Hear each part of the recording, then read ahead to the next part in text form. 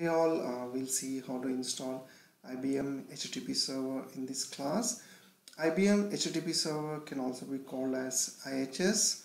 So I would be uh, showing how to install IHS uh, 7.0 version. And if you did remember in previous class, uh, we have deployed application in WebSphere. So after deploying uh, the default application, this is uh, one of the URL uh, which we have configured.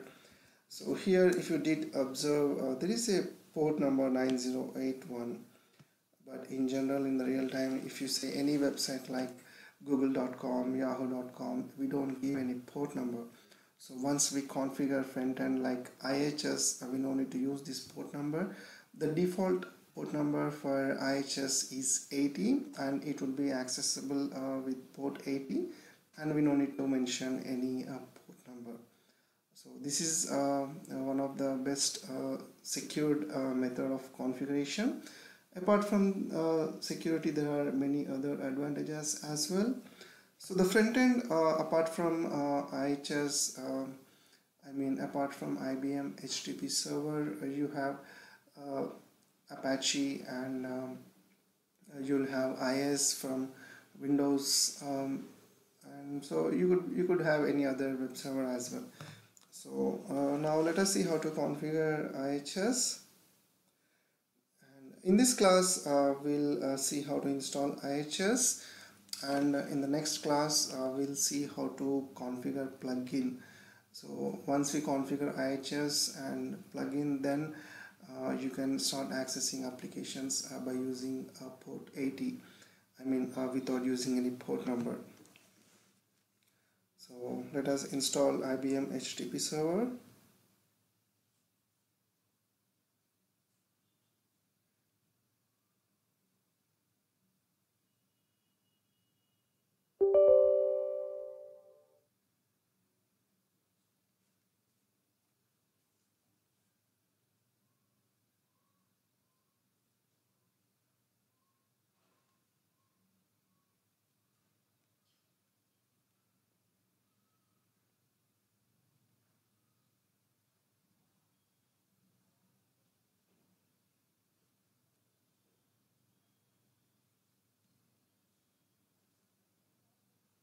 accepting the license. You can ignore this warning uh, my OS is being Windows 10 uh, when uh, IHS 7.0 have released maybe Windows 10 uh, is not released. In general uh, these applications will be compatible for server operating systems like Linux and uh, Windows servers. So you can ignore this warning. And it functions well on Windows 7 as well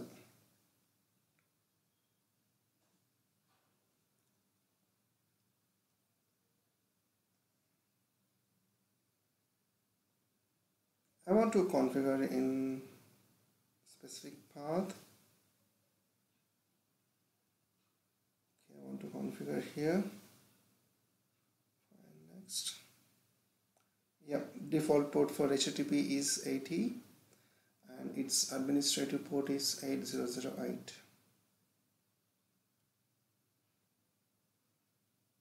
so I want to uh, use a local uh, account which is um, default account of this Windows. So I'm selecting logon as local system account. And I don't need to give any user details here. And startup type is automatic. Fine I'm, I'm, I'm going with default settings. The Apache service I mean the IBM HTTP server uh, service uh, would run as a Windows service uh, with the with the default account of the system. I'm going ahead with default settings. So yeah, for administrative purpose, I want to create an account. Let us say IHS ADMIN. Okay. So I'm creating a username as IHS admin. This would be useful uh, for advanced configurations. Um, even it could be useful uh, while configuring plugin. I, will show you whenever it is required uh, in next sessions. So the administrative uh, account for IHS is IHS admin. This is a summary HTTP port and then service name user ID for HTTP administrative administration server authentication is IHS admin. Well I'm going ahead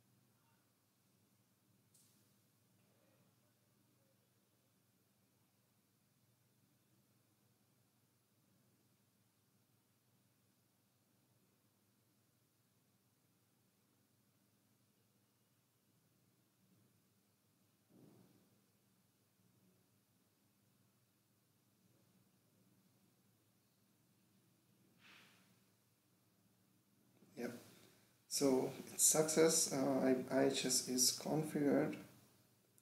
So once it is configured uh, you should be able to access uh, the page uh, with localhost uh, if you type uh, localhost you should be able to access the default page of IHS yeah to check whether IHS is installed check with HTTP localhost you will see IHS welcome page. So let us see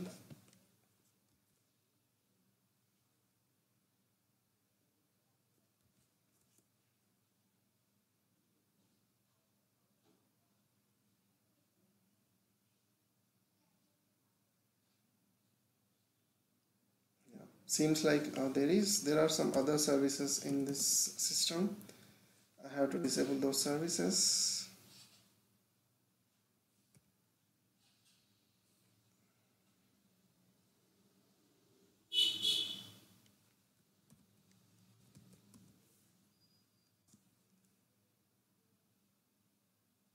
There is the other web server uh, IIS uh, which is configured in this system so it is giving the default page of that. So let me stop it.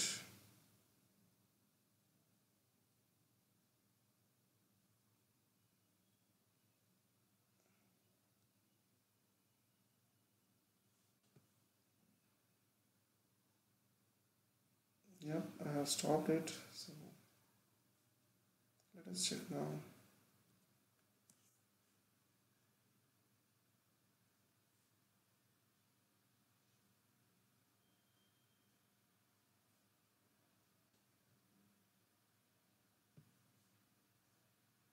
so let us start the server. Uh, the service is still not started.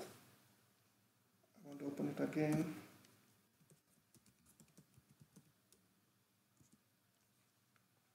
So the method to start IBM HTTP server in Windows is through services.msc so I just wrote services.msc and pressed OK and you will get this window open.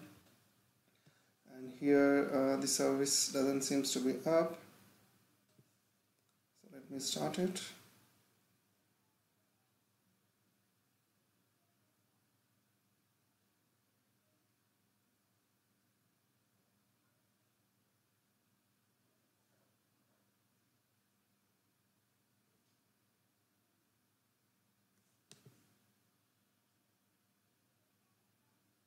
so it's running now. Let us check it now Yep. So this is the default page of uh, IHS. So it has been uh, installed uh, successfully. So that's why we are getting this page. And next, one of the important configuration file uh, for IHS is httpd.conf this is a place where uh, you give details of all applications I mean whichever website or application you configure this is a configuration file you give all the details related to it let me navigate the path Server then conf http.conf this is uh, one of the important file uh, which are, whenever you configure applications uh, you would do some updates here. So sometimes you do manually sometimes you could do using admin consoles. This is one of the important file. And uh, so uh, as I have already told uh, in Windows you can start and stop services using uh, services.msc and in the Linux you should go to the bin path and then you should uh, start using commands like apachectl start apachectl stop. You should use commands uh, with apachectl um, like uh, let us uh, navigate a few uh, error important error log files in uh, IHS logs. Access.log error error.log are a uh, couple of important uh, log files uh, to troubleshoot IHS like uh, if even if a website is accessible you will see error code with 200 200 means success. And if you find any errors 404 error 401 error uh, any error uh, which you get while accessing websites uh, those will get recorded in access.log and if you have any internal errors uh, with uh, IHS uh, I mean if IHS doesn't run properly because of configuration configuration issues those kind of errors will get, record, get recorded in error.log and at the same time once plugin gets configured I'll show you in the next session uh, even HTTP uh, plugin dot log is also one of the important log file helpful for troubleshooting. this file will record errors related to communication between IHS and uh, WebSphere. Uh, those things I'll show in the next class as well. And uh, these are the common errors, error logs of WebSphere most of the times uh, the error which is there in access.log would be there in uh, system error dot uh, error as well. Well uh, this comes under uh, WebSphere but uh, I'll show you as those as well as it would be useful while troubleshooting. So IBM WebSphere so logs so one system dot out and uh, system um, system error dot log are a couple of uh, important log files in uh, WebSphere. And uh, this is all about uh, this class. Uh, if you have any questions or doubts uh, please load them in the comments. I will reply to them. If you want to learn WebSphere application server administration course please register the, register the, register to this channel so that you can get more videos in your future. And you can watch the playlist uh, in my uh, channel page uh, which will be having complete uh, administration training course. Thank you for watching this video. Bye bye